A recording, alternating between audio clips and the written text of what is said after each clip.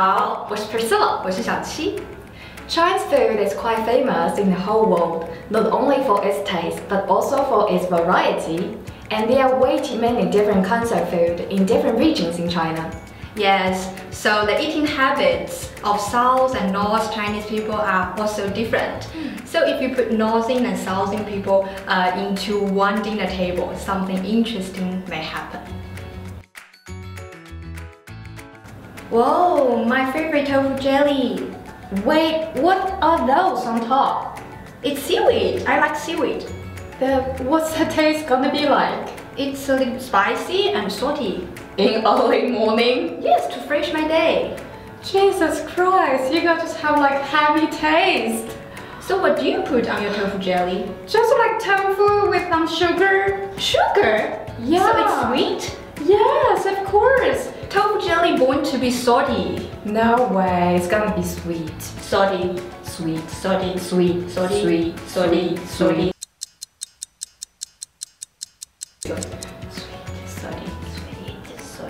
For certain food, like there are always arguments between the North people and the Southern people if this food should be sweet or salty. Yes, so people from North generally like tofu jelly and mooncake, 粽子 to be salty. Oh yeah, but for like Southern people, uh, we prefer to be sweet. Mm, but in the middle of China, like Sichuan, Wuhan, and Shanghai, so it's kind of mixed. So we can choose from both.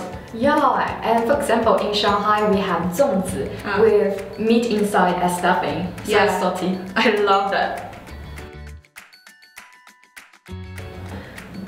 What's this?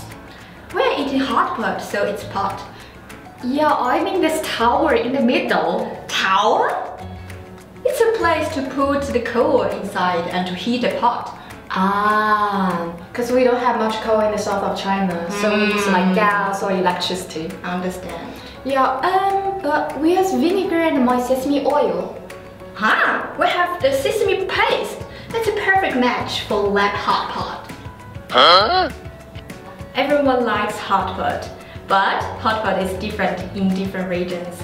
Yeah, for example, in Sichuan province, we usually have spicy hot pot, and for the dipping sauce, we usually have like uh, sesame oil, Yeah. vinegar, spring onions, chili, of course, and like oyster sauce. Yes, and people from North usually do not like spicy hot pot, so uh, we use the sesame paste as sauce. Oh, the dishes are so good. May I have a bowl of rice, please? I didn't cook rice today. But I can't live without rice, and my mom said each meal should have rice. We have some steam bomb in the pot. Wheat is planted in northern China and rice is widely planted in south. Yeah, and for the staple food, and people from south, we usually have rice. Yes, and people from north like the uh, food made by wheat, such as noodles, pancake, steam bombs. Yeah, lots of different choices. Yeah. Today's New Year's Eve. Yes, my mom is cooking dumplings. Oh, the weather's getting colder and colder. Oh, it's winter solstice. Yes, so come to eat some dumplings. Oh, finally it's summer. Oh, on Chinese lunar calendar, today is the beginning of summer, the first day. Yes, so you must have some dumplings. Today is my birthday. Whoa, happy birthday! I made you some dumplings. Dumpling is so important in north of China. So on lots of traditional festivals, northern people prefer to eat dumplings at that day to show their good ways to life. Yeah, and on these like festivals, um, southern Chinese people we have different food for for it, but it's not a must. And I think most of Chinese people love dumplings. Yes, I think some people may don't mind eat dumplings every day. We generally divide China into south and north, and people from different regions have different eating habits. But now they are influencing each other. Yeah, it's very easy for you to find different kinds of food in different cities, like no matter north or south. And have you heard of any other Chinese people's eating habits?